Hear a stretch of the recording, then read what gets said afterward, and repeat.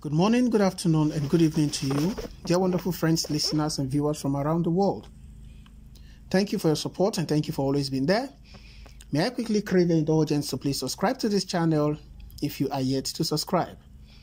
Kindly hit the bell icon so you can get notification whenever we post new stories. Endeavor to share these new stories with your friends, family, relations, and loved ones so they can get to know what is happening around the world and be informed. Thank you so much, guys. I appreciate your support.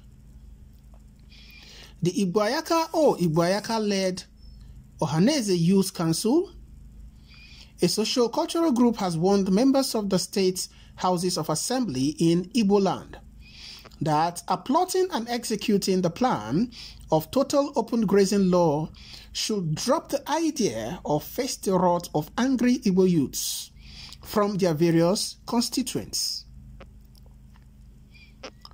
The warning comes on the heels of the recent directive by the President Muhammadu Buhari led federal government for the review of the 368 grazing reserves in 25 states.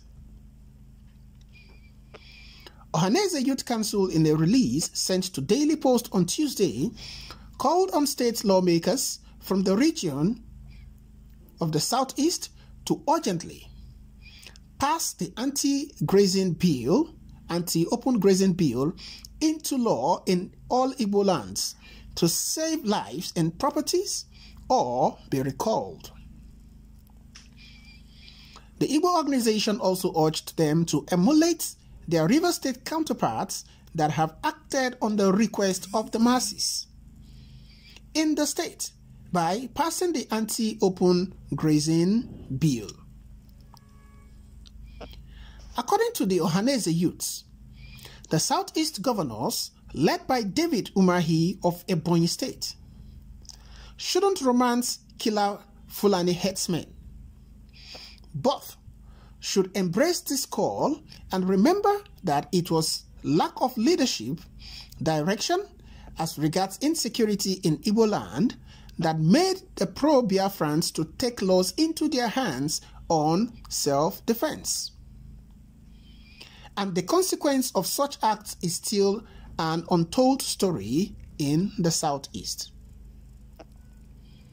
The group noted with regrets about an alleged inducement of state lawmakers from the zone from Miyetti Allah Cattle Breeders Associations to jettison the call for open grazing in the southeast.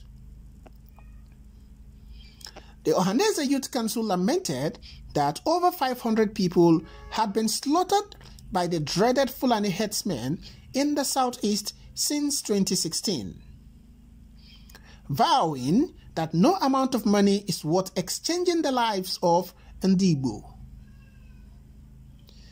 The Apex Igbo Youth Group in Igbo land also issued 30 days ultimatum to members of the State House of Assembly of the Southeast extraction to pass the anti-open grazing bill into law. As failure to do so without doubt mean that the whooping 5 billion naira was really collected and acted upon. Ohanaeze Youth Council stated there will be an all Igbo youth march to the family house of the House of Assembly members to demonstrate a civil disobedience from the people. This movement will be more heavy than the Aba women mass resistant riots that made Britain stand still. The House of Assembly members in Southeast should watch their actions and inactions and as well know that they are commonly living with the people in various communities in Igbo land without any form of immunity or sophisticated security details like the governors. Therefore, any attempt to take bribe and jettison the anti-open grazing bill will be a foolhardy that endangers not only their lives but that of family members as well as neighbors in the southeast.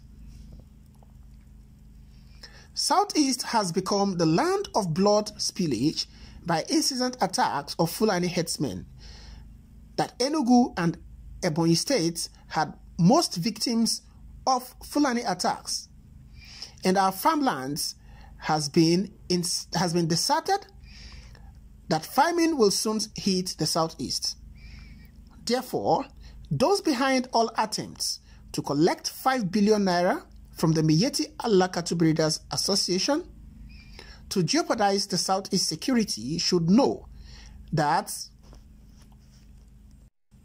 Ukunaga Wamwam, Anyanaga Zamzam, Nazuya. Alright, guys, you have heard what has been said. The Ohanaeze Youth Council further called on community youths of Igbo extraction to rise up now and resist any attempts to scuttle the anti-open grazing bill currently disgruntled members of the oh, sorry the anti-open grazing bill by current disgruntled members of the south of the state house of assemblies in the southeast. All right guys what are your thoughts concerning this particular news story? Hasina ukunaga wam wam anya na-aga zamzam. N'azụ onye were ntị should be using the ntị to be knowing what is being saying, what is being said. All right, guys, what are your thoughts concerning this particular news story, as it were?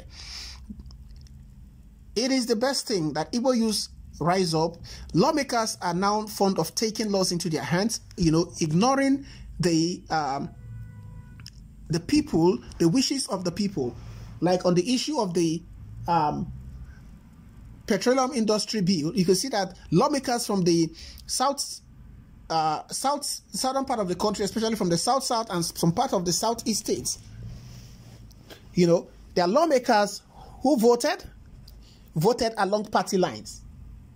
They voted against their own people, knowing that they could have voted and made a lot of money available to their communities to prosper and to be developed. But because they've been given money at their level, at the uh, Senate level and the all National Assembly, they settled for the 3%. So the state houses of assembly members should also be careful and know what is right for their people. What are your thoughts concerning these particular news stories? Well, drop by at the comment section. Let's know what your thoughts are. Don't forget to subscribe to this channel Please kindly hit the bell icon so you can get notification whenever we post new stories. Also endeavor to share these news stories with your friends, family, relations, and loved ones so they can get to know what is happening around the world and be informed. Thank you so much, guys. I appreciate your support, and I'll see you guys on the other news. Thank you so much, and bye for now.